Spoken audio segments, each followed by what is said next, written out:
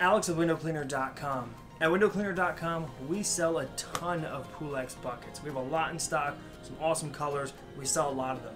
If you bought a Pulex bucket from us, you will notice it came with four of these little, these little clips. Two big, two small. A lot of people don't know what they're for.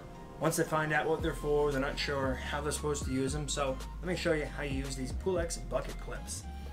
So we're gonna take our bucket and we'll start on one side with the large. Doesn't matter, large, small, where they go. Wrap over the back side of the bucket, your clips, just like that. And on the opposite side, you're gonna do the same thing with the small.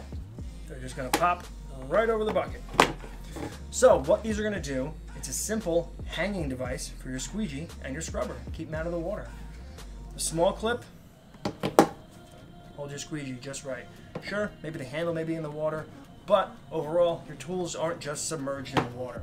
Same thing for the strip washer. Just pop it right in. It'll hold up to an 18 inch in this bucket. 22 is just too big. 14, 10, 18 fit perfectly. You can also just use the one large set of clips to hold your scrubber on one side, and then on the outside of the bucket hang your squeegee. So you really only need the large if you want to use them, but every Pulex bucket comes with a set of large and small bucket clips, and now you know what they're for. Check out our Pulex buckets at windowcleaner.com.